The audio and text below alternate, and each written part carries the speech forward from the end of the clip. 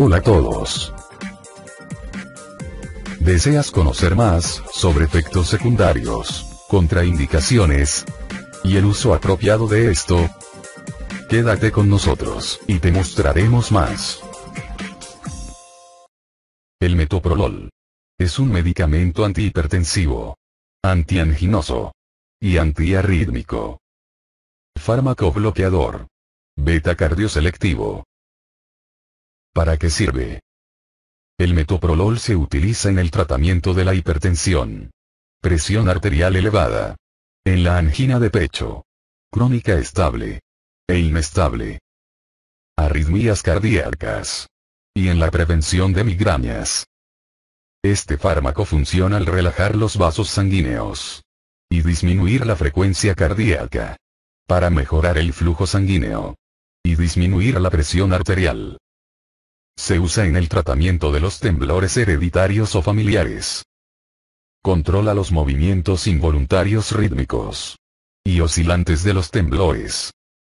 Se usa para reducir la necesidad de hospitalización o bajar el riesgo de muerte por fallo cardíaco. Para tratar los ataques cardíacos. Tratamiento y prevención secundaria. De infarto de miocardio. Tratamiento de la falla cardíaca. Insuficiencia cardíaca congestiva. O de la cardiomiopatía idiopática. Taquicardia. Para tratar los latidos cardíacos irregulares. El metoprolol actúa bloqueando los receptores beta. Que existen en el corazón. Logra disminuir la necesidad de oxígeno del corazón. Y reduce el ritmo cardíaco. Se usa en enfermedad coronaria. Síncope vasovagal. En el síndrome del curtelago. Especialmente para pacientes con asma. Puede ser prescrito para uso no aprobado. En el miedo escénico. Fobia social. Y otros trastornos de ansiedad. Así como trastornos del movimiento. Ocasionados por medicamentos para la enfermedad mental. Precauciones. Se debe tener precaución. Dígale a su doctor, si es alérgico al medicamento. Si toma otros medicamentos. Si tiene latidos cardíacos lentos.